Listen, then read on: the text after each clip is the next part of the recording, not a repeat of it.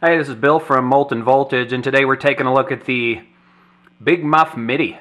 We modify the Electro-Harmonix Big Muff. We use the original circuit board, um, but then we add MIDI controls to it. And that includes a soft touch switch with a relay inside, so it'll remember whether it's supposed to be bypassed or not. Um, little switch, you get the knob set where you want and just toggle the switch up and down, and then it stores the uh, knob position at whatever the last program change that came in was. Now we're going to be controlling it using our master control. All you do is connect the MIDI out of that over to the MIDI in on the Big Muff. Now we'll take a look at the back here. Um, you got the standard, the in and out for the audio, but we've added a panel mount riveted steel MIDI jack here.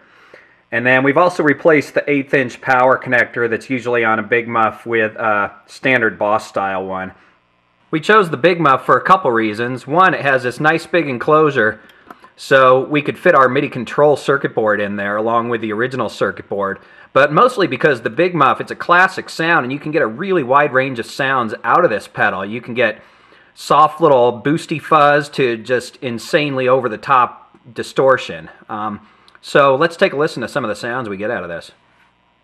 Okay, we're going to run through some of the sounds we can get out of the Big Muff now. You'll see right now the LED is red and it's bypassed. Um, I'm going to switch it over to program 1 and then I'm going to go through the seven different programs I have set on it right now. You'll see on program 5 the Big Muff will be bypassed again. And that's to show you that there's a relay inside. It's a true bypass relay, so it'll take itself out of the loop when you don't want it in there. And it also saves you a place if you have some kind of a MIDI switcher. You don't need to hook this up to a MIDI switcher. It already has a relay inside. So let's, uh, let's check out some of the sounds.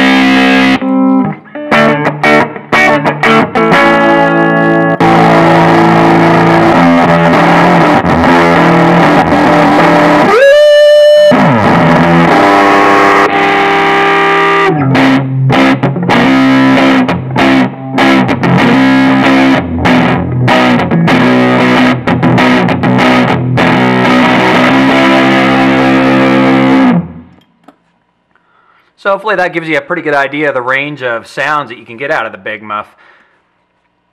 If you have any other questions, you can always email me over at questions at moltenvoltage.com. Thanks a lot.